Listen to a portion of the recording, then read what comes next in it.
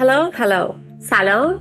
My name is Kathy Kiany and I'm the writer and director of Watering Plastic Flowers.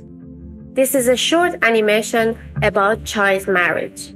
The story is about Narges, a nine year old girl from a religious Iranian family, that in a conversation with her brother, who is proud of his masculine power, she realizes her jurisprudential duties as she reaches the age of religious puberty.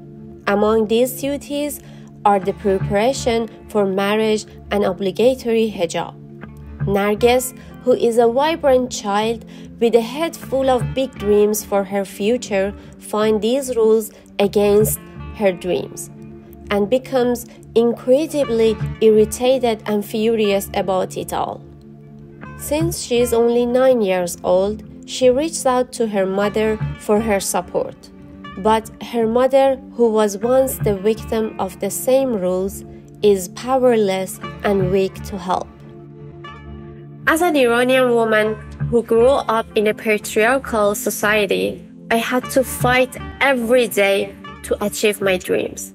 Therefore, all my stories deal with women, cultural differences, immigration, and issues of identity. My latest animation, Second Home, is a story about an immigrant woman and her challenges to fit into her new culture, which won the Best Animation Award in Berlin, Chicago, and here in Vancouver. By this animation, my goal is to contribute in raising Narges's voice and all the girls and women who are oppressed and discriminated against due to the traditional values in a patriarchal society. These women needs to be heard by more people around the world. There are young girls in Iran whose voice and choice are being stripped from them. Being married at as young as 11 years old. Hi, I'm Sam Adamora, and I'm the sound designer in this project. When Kathy came up to me and invited me to be part of this vision, you know, I, I felt like I, I, I needed to put my force together with them and help actualize this. I myself, I'm from Africa and being fortunate to live in a few places in the world. I've seen the privilege of having a choice and having a voice, and I've activated these privileges to shape my life to what it is today. And you know, us living here in Canada, we probably don't realize really how much choice and freedom we do have. So we want to create this project in a way that the viewers can be able to jump into the mind and in, into, uh, I may say, the flow of the procession or um, understand what's going on across the world. So that's why we are creating this. So we appreciate your support and we appreciate you watching this project and the creation of it.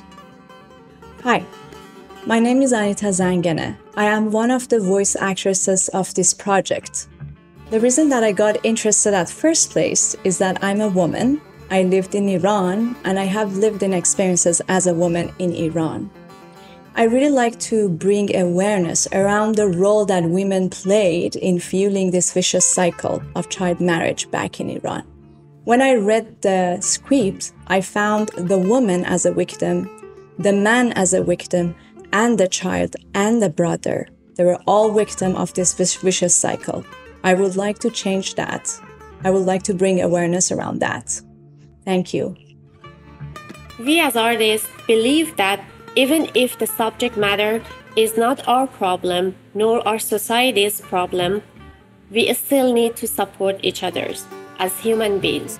So that the world would be a better place for all of us to live. Yes, we need to support. And if you aren't in a place currently to, or have the capacity currently to support in a financial way, there's other ways that are definitely vital in supporting this project, such as liking, sharing as you see us create, and, and we do appreciate that very much. We open heartedly receive any kind of support that you can spare us. Thank you. خیلی ممنونیم.